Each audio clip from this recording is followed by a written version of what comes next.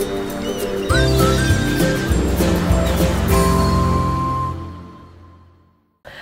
There, this is Allison with Let's Go Travel Tips. Today it is so exciting. Princess has announced their COVID health protocols for sailings from Europe. You might remember that yesterday, uh, March 17th, they announced their protocols for sailings from the United Kingdom. The United Kingdom, as you know, I'm sure know, is right there next to Europe, but it's not really considered part of Europe. It is Great Britain, the United Kingdom. They're a little separate from that. And so there are different protocols on a few things for sailings that are going from European ports. So first of all, I would like to welcome all of our Let's Go family members. You are all wonderful, so thank you so very much for being here. Also, welcome to all of you who are new. We're really glad that you came.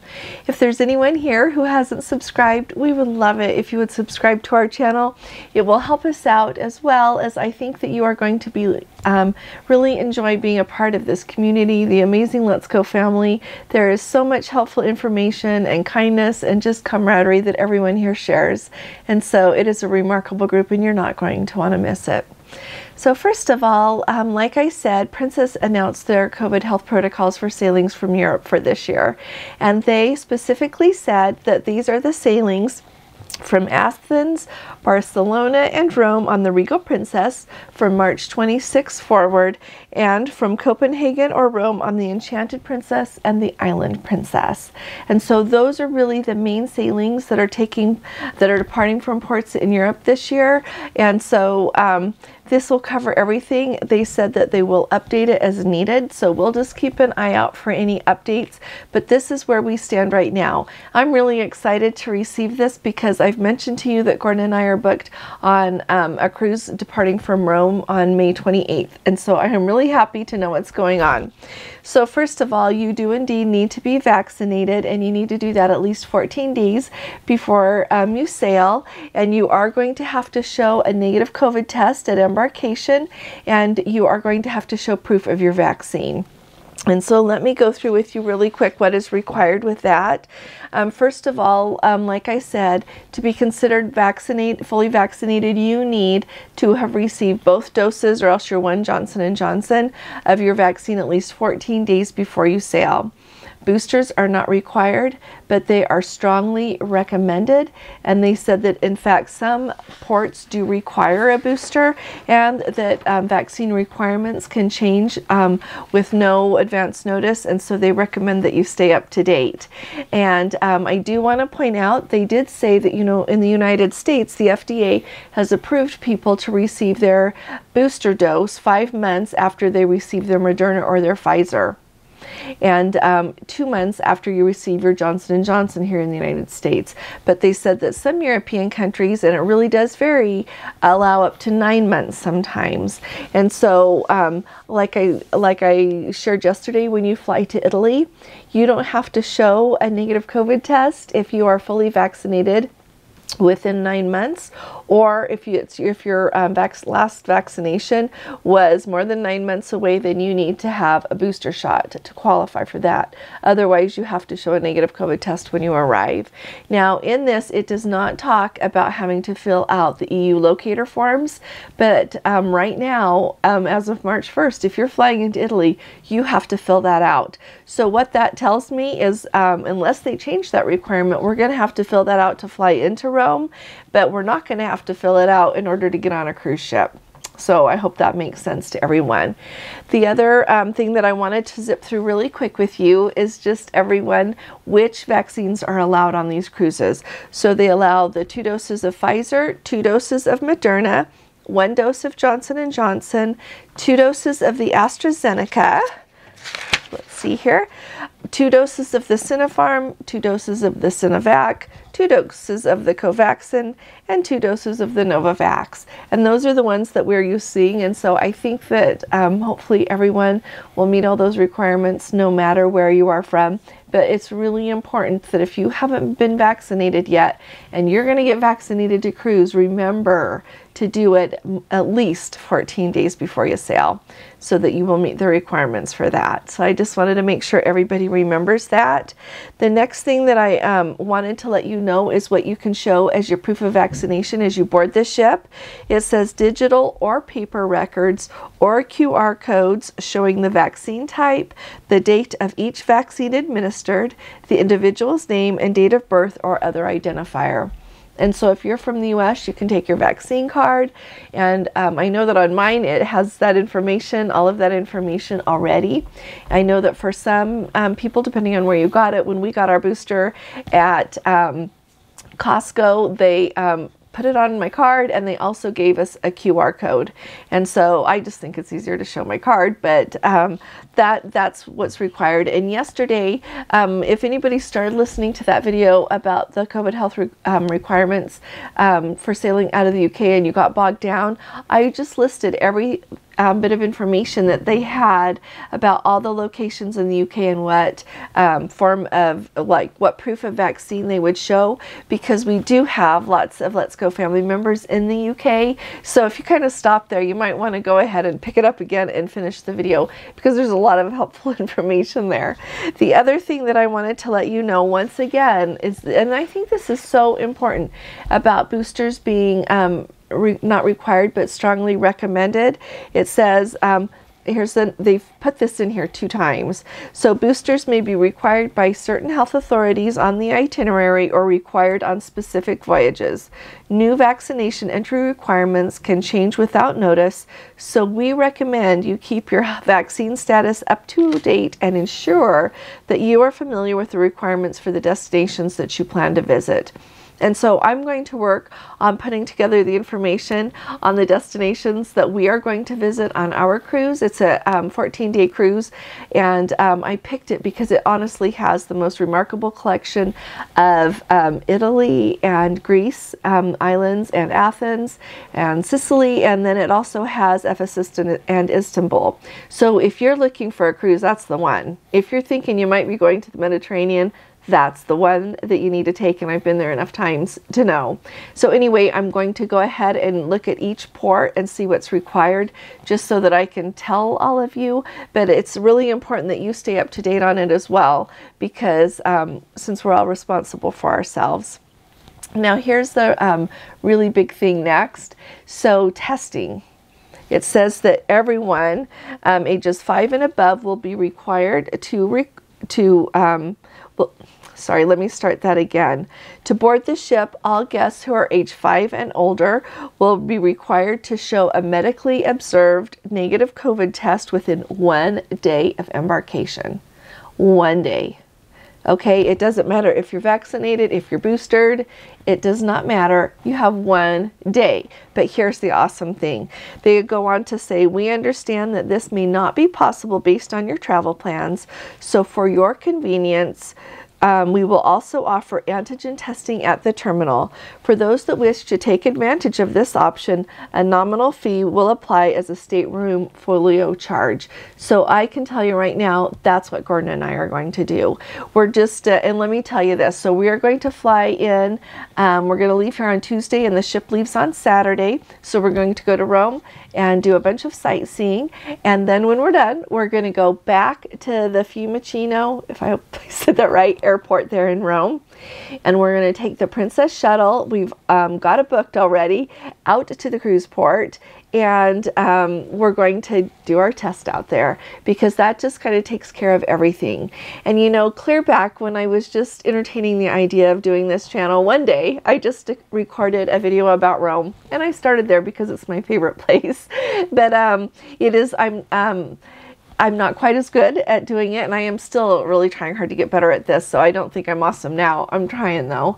Um, but um, so it's a little different, but um, it has a lot of really good information, and I stand by everything I said in it. So I will ask Gordon to go ahead and link it under this video because if you're going there, it just contains some information that it's really handy to know before you go, especially if you've not been before, and um, just a, a little bit of information about what to expect and why we take that Princess Shuttle.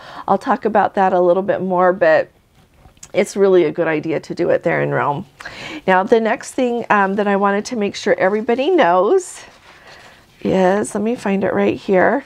Um, I do want to let you know about masking. And um, with masking, it's luckily, well, I shouldn't say luckily, I just like that people have a choice. And so it's going to be like it has been just recently here in the United States. It says masks on board will be recommended but not required in the vast majority of venues. There may be select venues or certain situations in which masks are required, and this will be clearly designated with signage and onboard communications. And so um, it'll just be like we've been seeing. Um, I know right now that the numbers with COVID are higher in Europe than they are here but it's going to be really interesting to see how things change. And I know that some of you are like on your way to Europe to meet. Um, to go on cruises as those transatlantics arrive that had already left Fort Lauderdale. And so I am anxious to hear from any of you. If you would let us know how your travels go and how your testing goes and just everything about getting on this ship and the experiences you're having, that would be really valuable to everyone. And when we go at the end of May, um, that's really the earliest that we can go with our family things that we've got right now. Um, that's the earliest we can go. Um, I, it's not quite as early as I would have liked to, but we will go out of our way to show everything to you uh, so that you know what to expect if you're sailing after we are. But it just really um, takes all of us here. And so um, I just, I really like that about the masking. Um, there was a question on here a lot of people ask me if they're doing like the champagne waterfall and other things like that. And so I found that on here. It says large um, group events, including singing groups, the voice of the ocean, behind the scenes tours. Somebody asked me about ship tours the other day, and we hadn't seen that on any of our cruises. And so they mention it here. And the captain's champagne waterfall will not be available during these cruises. And so I think that they are still really limiting those last few things that require a lot of people to gather together in one place. When we were on um, the Caribbean Princess in January, they did have like dance parties out like on the open decks, and I expect to see that on this and get togethers like that. But that's not like Champagne Waterfall. If you haven't been on a cruise ship, they do that in the piazza, and it is just beautiful. They build the big waterfall out of champagne glasses, and um, then usually usually is that the maitre d comes and starts pouring and it glows down all pretty and people get their picture taken up there with the captain. And everybody likes to come and watch. It's on a formal night. Everyone looks beautiful. It's really very festive and wonderful. But so many people come to that because it's just fun to see. And so that is really different than what um, i would think that we would see in a lot of other gatherings on the ship. And so they're not um, clearly doing that yet. But look forward to it if you um, haven't been to one of those yet. You should go catch it because it's just fun to see. Even um, like my husband and I don't um, drink um, alcohol, so it's not like we're excited that we're going to drink some champagne, but it's just lovely. It's very festive and absolutely beautiful. Now, the other thing that um, people ask so often is about how are we going to get our COVID test to go home? And here's what Princess says, and it's like we expected. It says, it says if a negative COVID test is required for re entry into your home oh. country, subject to availability, Princess will cover the costs of any COVID 19 test administered on board within the time frame required prior to travel. And so um, it sounds like you can plan on that. But you know what? I do notice that they say subject to availability. And I know that this is going to be hard. They've got to make sure that they can secure all of the tests they need for everyone. And so my suggestion is to have a backup plan so that you know um, where you're going to get it if Princess happens to run out. And I have checked airports. I looked at the Barcelona airport because that's where we're going to fly out of. And they do have them at the Barcelona airport airport, they have them at the Rome airport, they have them at a lot of places. And so I just wanted to make sure that everybody knows about that. And um, you know what, somebody asked me about where I had found that you can get a COVID test in Rome.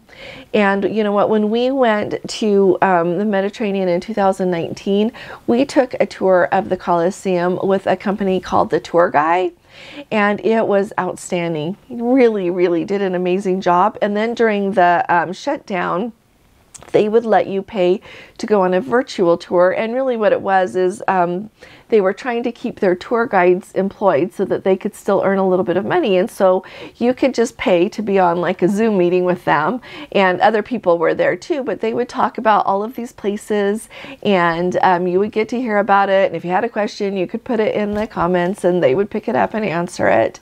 And they really, really outstanding. And so that company, the tour guy, has started um, in lots of large cities in Europe finding places for people to be um, tested for COVID because they know that you need it to get back, you know, often into your home country.